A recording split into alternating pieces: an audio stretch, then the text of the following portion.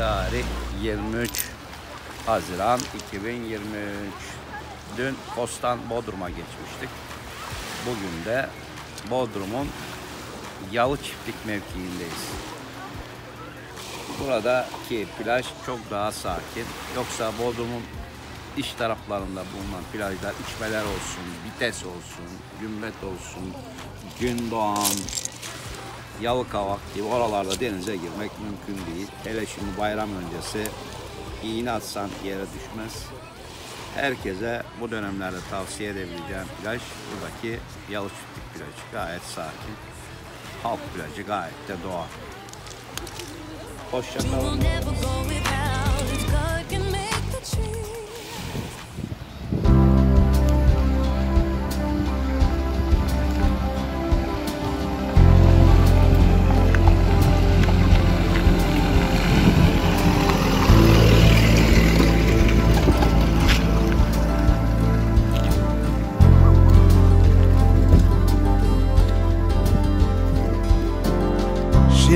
She'll let you in her house if you come knocking late at night.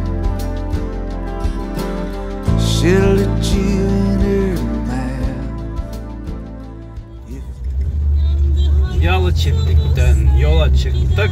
Ören'e doğru yolumuza devam ediyoruz.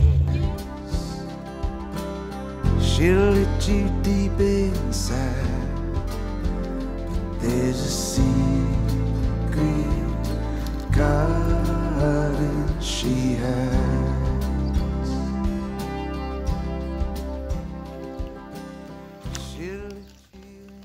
Ne demiştik? Gittiğin yerde deniz olacak, balık olacak, rakı olacak, bir de akarsu olacak. İki saat öncesi yeni çiftlikten ayrıldık ve yine insan kalabalığından uzak mükemmel bir koya geldik. Bu gece burada konaklayacağız. Yarın denize gireceğiz. Bu akşam çilingir soframızı kuracağız. Harika olan bir yerin tadını çıkarmaya çalışacağız. Gone a million miles. How far did you get? That place where you can't remember and you can't forget.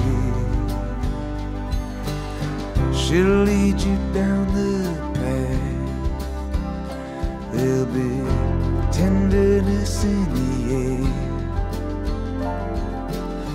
She'll let you come just far enough So you know she's really there.